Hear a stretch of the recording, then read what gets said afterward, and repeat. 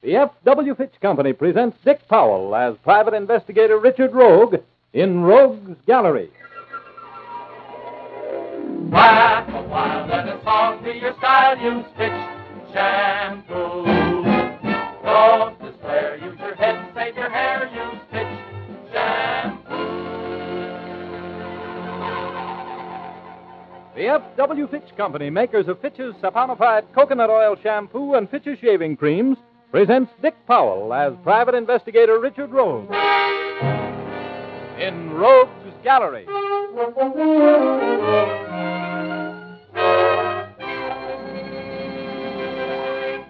Rogue speaking. Call me a silly, impressionable boy if you want to. But when I first laid eyes on Patricia Flynn at that party, I was over the side like a Jacob's ladder. Her hair was as black as a lover's despair. Her eyes were the blue of the washed sky around a rainbow. And she was to feminine architecture what the atom bomb is to science.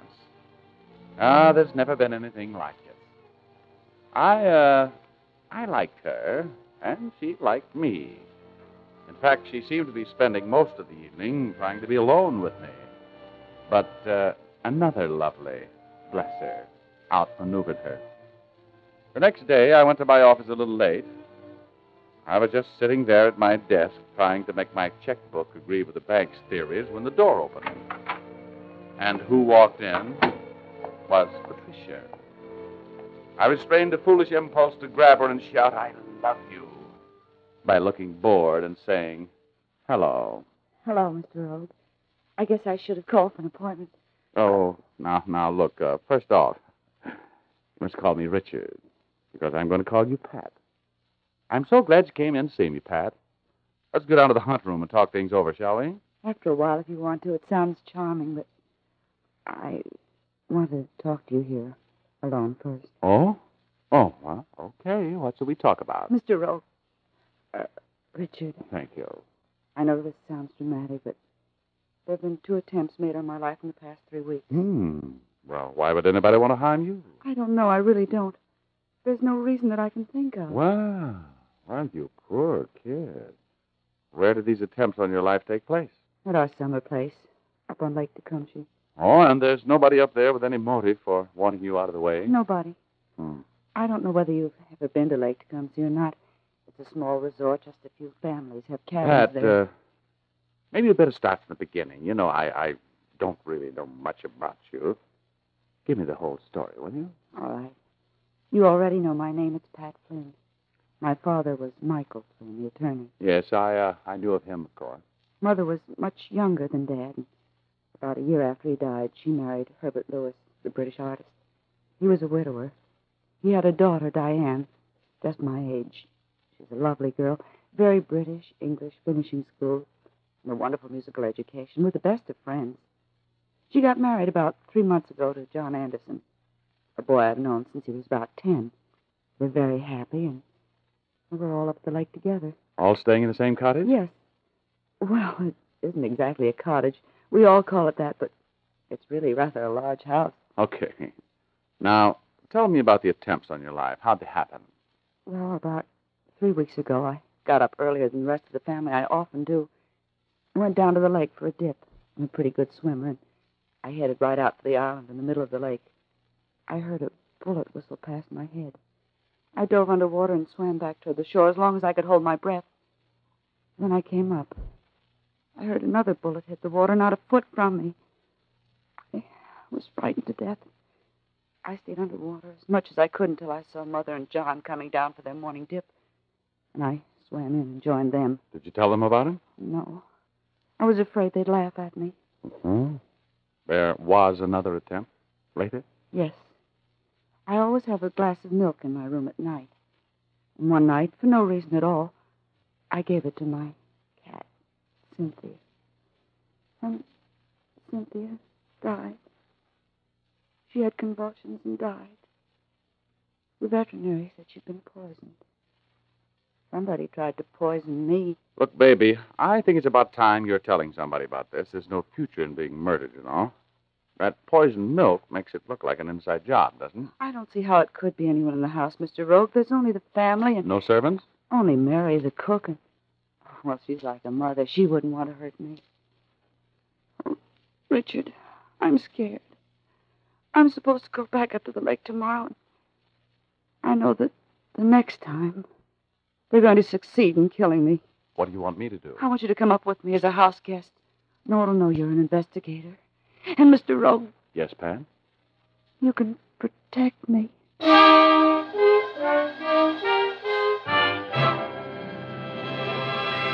We'll continue our story in just a moment. First, the three essentials of attractive, healthy looking hair are one, cleanliness, two, manageability, and three, a fresh, clean fragrance. Fitch's saponified coconut oil shampoo does all three for your hair. It's mild yet efficient shampoo. It cleanses the hair thoroughly of dust, dirt, perspiration, and other unpleasant scalp odors, leaves the hair smelling fresh and clean. Then Fitch's saponified coconut oil shampoo is made from mild coconut and pure vegetable oils. You can use it as often as you like, and it will never leave your hair dry or harsh feeling, but always soft and manageable. It makes your hair easier to comb and easier to keep combed.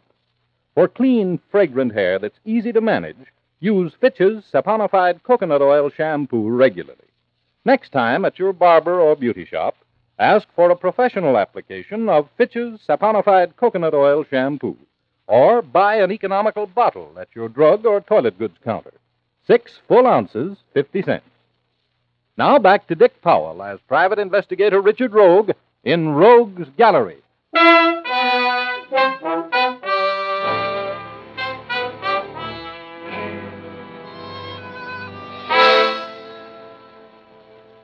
I couldn't understand why anybody would want to deprive this ugly old world of Patricia Flynn's beauty. But she was convinced that somebody was trying to promote her to a better land than this, so I accepted her invitation to be a house guest at her family's 18 room cabin on Lake Tecumseh. I'd like to be Uncle Tom in a cabin like that. The living room was a little smaller than the Los Angeles Union Station, but it was much more comfortable.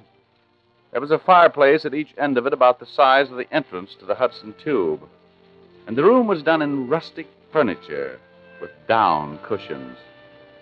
Every place you looked at the walls, you either got an inquisitive look from a defunct moose or a cold stare from a mounted fish. Ah, if this was roughing it, I gave up my scouting too early. The first evening, I sat around and talked with Pat's mother, who looked 30, and her stepsister Diane, who looked dandy, and John Anderson, who looked like John Anderson. John was Diane's husband. We're so happy that you could come up with Patricia, Mr. Rogue. She hasn't been enjoying herself this summer for some reason. She seems so depressed. Well, girls with her looks should never be depressed.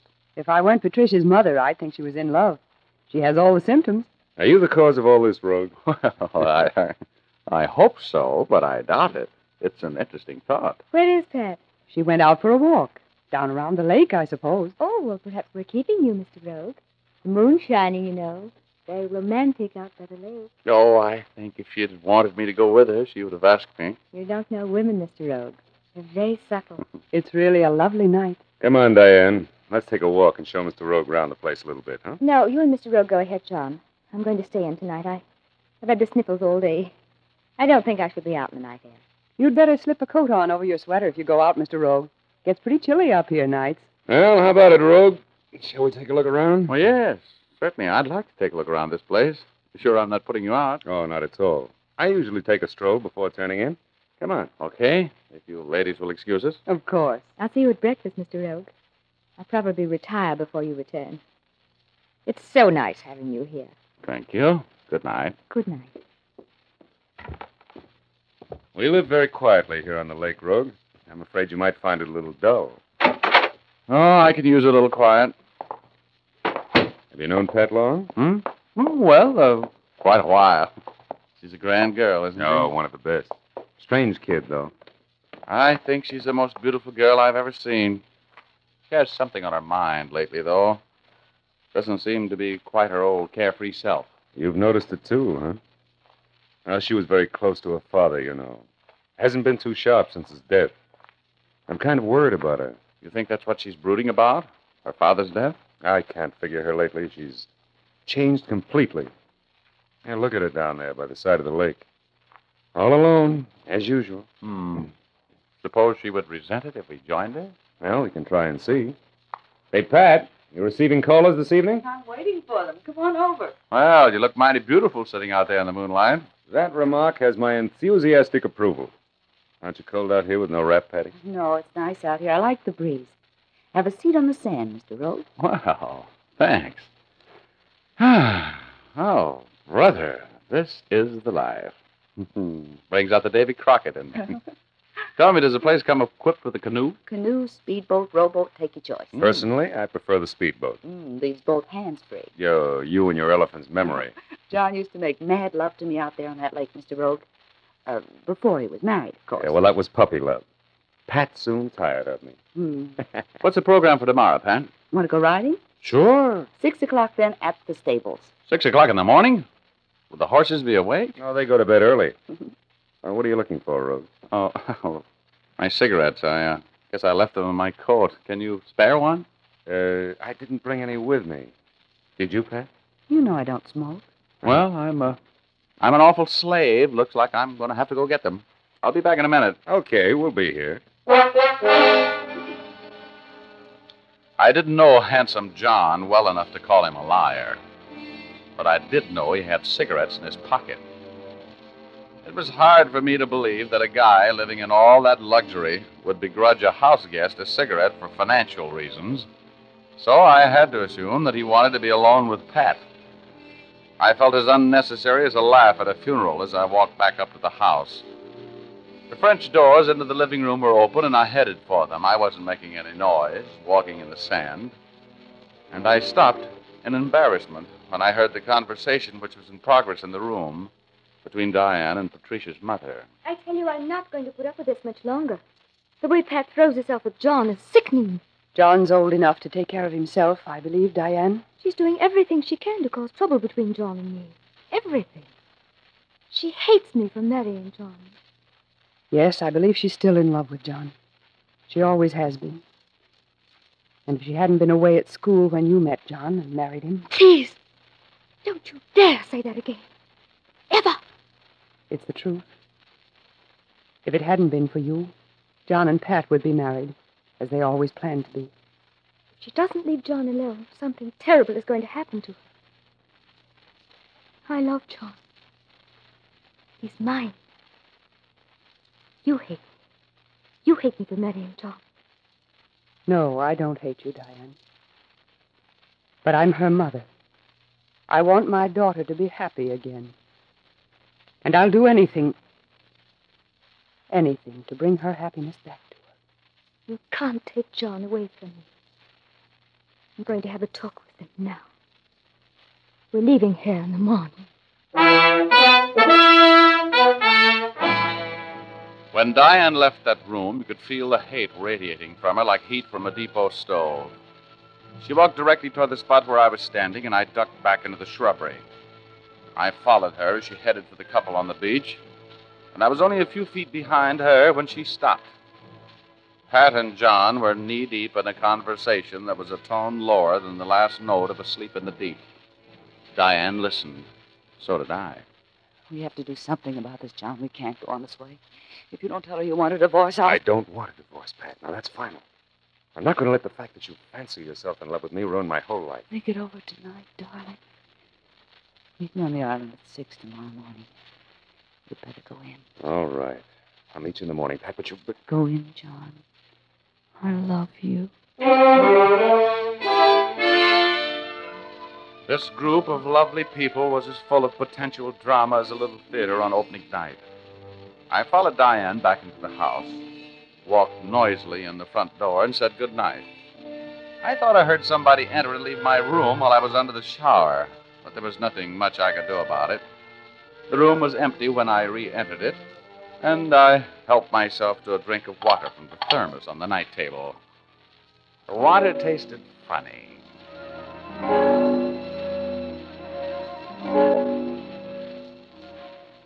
As I hit the pillow, I knew what it was. I went out like a match in a bucket of water. And when I opened my eyes, I was on Cloud 8. Eugor was looking me over, and that little dame was there. He's opening his eyes, Hugo.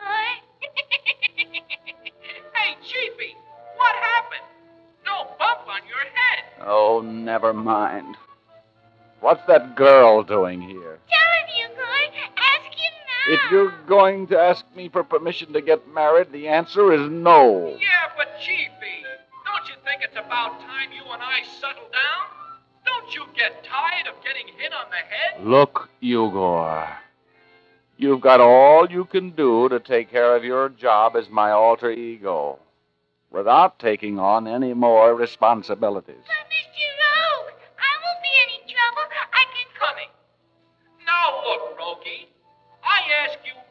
to man. Man to man. Anything you ask me is spook to man, Eugor. You're nothing but a figment of my imagination. What does that mean, Hugo? Oh, he's a little off his trolley right now. Now look, Chiefy, this is no time to be making a decision which will affect the entire lives of three people. You're not clear in the head. Did it ever occur to you that if I was clear in my head, I wouldn't be here on Cloud 8? Talking to you and that uh, Lilliputian Lana Turner? This Cloud 8 is strictly non coeducational. Now you throw her out of here. Push him over the side, Hugo.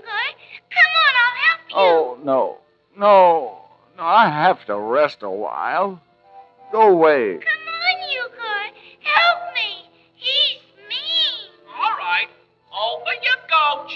No. No. Cut it out. Ooh, I'll strangle you with your own beard, Eugor. Stop pushing. He's a bad man, Hugo. Yes, he is. So long, Rogie.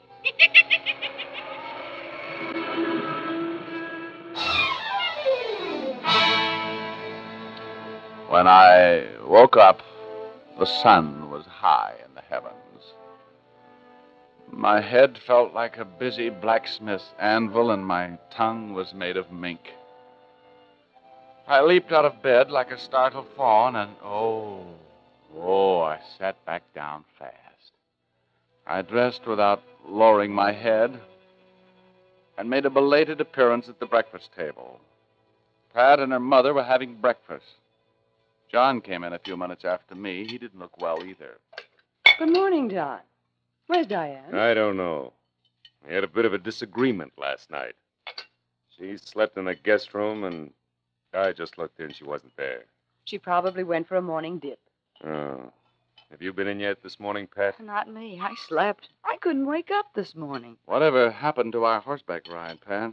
Oh, did you get up for it? Oh, me? Oh, no. no. I slept right straight through. As a matter of fact, I, I never slept so well in my life. Yeah, that goes for me, too. And I feel terrible this morning. Well, so do I. I feel dopey. How about a canoe ride after breakfast, Pat? It'll do us both good. Maybe that's what I need.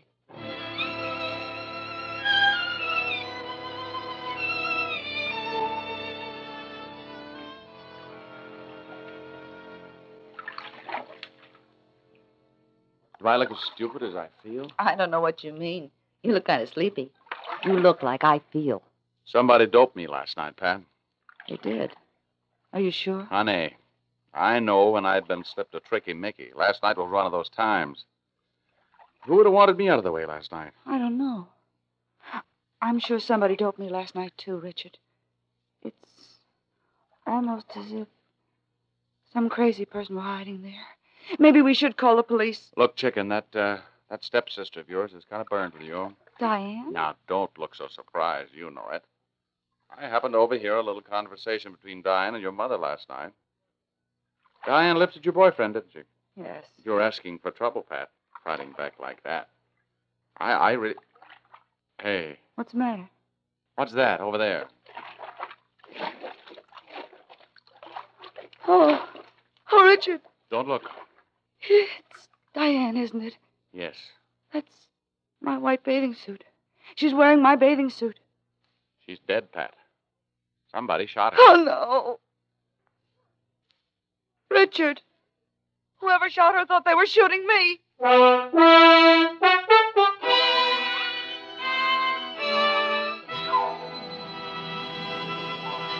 We'll return to our story in just a moment. First, a word to the ladies. You know how often your hair is caught in the spotlight of the summer sun. Be sure your hair meets the test. By shampooing regularly with Fitch's saponified coconut oil shampoo, you can be sure the sun will not reveal your hair as dry or harsh looking. That's because Fitch's saponified shampoo is made from mild coconut and pure vegetable oils. It makes your hair ever so soft and manageable, even right after you shampoo it. And ladies, here's a special feature you'll appreciate.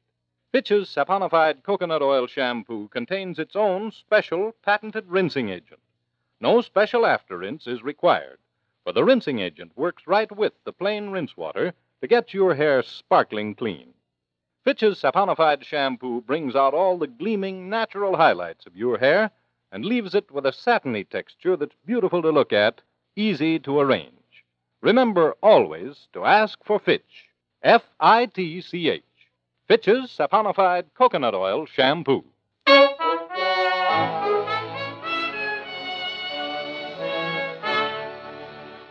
Now back to Dick Powell as Private Investigator Richard Rogue in Rogue's Gallery.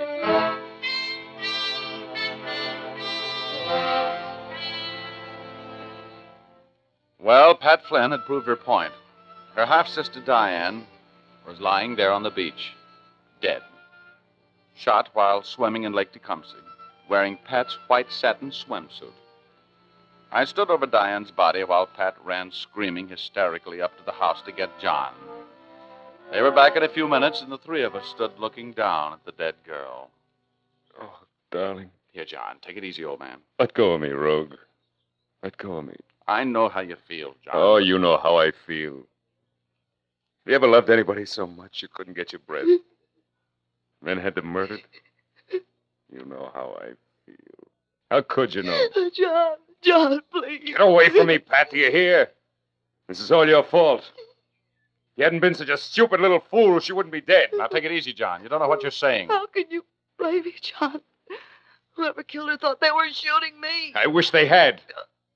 You were the cause of all the trouble. You've hated her ever since we were married. You think she stole me from you. How could you think that? You were never anything to me. Now, look, look. We'd better get up to the house. The police have to be called. This is murder, you know. You take care of that, will you, Rogue? Of course. Uh, you better come with me, John. No. I'll stay here with Diane. Or take Pat with you. Don't leave her out here with me. With us. I'll go, John. I wish you wouldn't hate me. John. Get back to the house. Come on, Pat. And when the police get here, Rogue, I have something to tell them. Bring them right out here to me. All right. All right, John. Oh, this is a horrible thing, Pat. Tell me, how did your mother react to the news of her stepdaughter's murder? She didn't say anything. She just said, Oh, Richard, you don't think Mother. I don't know. It looks like everybody in the house was doped last night, but your mother. Oh, how couldn't have been Mother? She wouldn't want to hurt me. You're overlooking the fact that whoever shot Diane might have known just who was wearing that white bathing suit, aren't you? Oh, no. It couldn't have been Mother. It, it was someone trying to kill me. That's It- just a theory. Go call the police. Tell them to come up here. I'm going to have a talk with your mother. As soon as Pat was out of the way, I ran up the stairs to my room. I took the stopper out of the thermos and sniffed the water in it. There had been chloral in that water. I knew the pungent smell of it. I visited Pat's bedroom and John's and sampled the odor of the water at their bedsides. It was a very interesting experiment. I headed for the bedroom occupied by Pat's mother and hesitated outside the door. There was the odor of burning cloth. I opened the door and walked in. She was on her knees in front of the fireplace, trying to burn a scanty red swimsuit, a damp one. What do you mean coming into my bedroom, Mr. Rogue? Your stepdaughter Diane has been murdered, and I'm investigating the circumstances. Give me that uh, bathing suit. Give it here. No, I won't. I. I'm sorry. I'll have to take it then. You know, destroying evidence is bad business. Give it here. I killed her. I killed Diane, Mr. Rogue. You did? Why? She was ruining my daughter's life. I killed her this morning. Where does the bathing suit enter into it? Why were you trying to destroy it? I didn't want the police to know that I'd been in the lake this morning. Oh, I see. Well, The police are. Mother, what are you doing with that swimsuit? Pat, I've. whose is it? It was Diane's. You might as well face it, Pat. Your mother killed Diane. She just confessed to me. She was burning that suit to keep the police from finding out that she'd been in swimming this morning. Oh, that's ridiculous. Look at that suit. Look at the size of it. Mother could no more get into that than Pat, No. No, she couldn't, could she? But you could, Pat. And if I'm I not- did it. I killed her. Pat, don't say anything. The water on my nightstand was drugged last night, Pat. Chloral. So was John's. But yours wasn't. And you shot Diane, didn't you? No. Pat, don't answer him. I shot her. I hated her. It's She was. no good, Mother. I did it. I killed her. I saw her sneaking around listening to what John and I were saying last night, spying on us. I gave her something to listen to. I made a date to meet John on the island at six o'clock this morning. I knew what she'd do. I knew Oh, Pat. Pat, how could you do it? I'm glad I did it. If I can't have John, I'd just as soon be dead. I- I'm only sorry I wasn't a little more clever. Pat, dear, we'll. We'll get the best attorneys. No, not for me. Oh, bless your heart. That was a wonderful try you made for me. Mommy, I love you.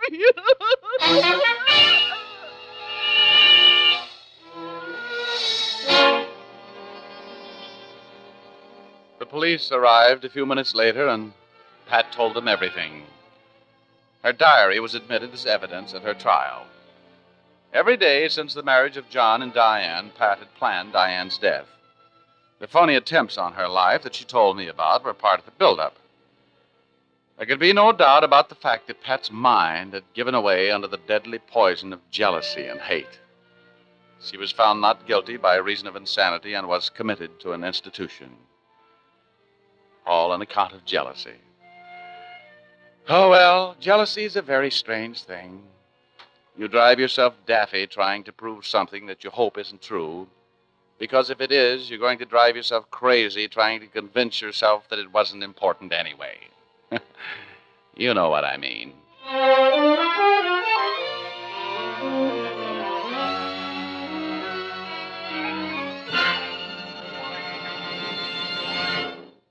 This is Dick Powell again, ladies and gentlemen. Hope you enjoyed our story tonight.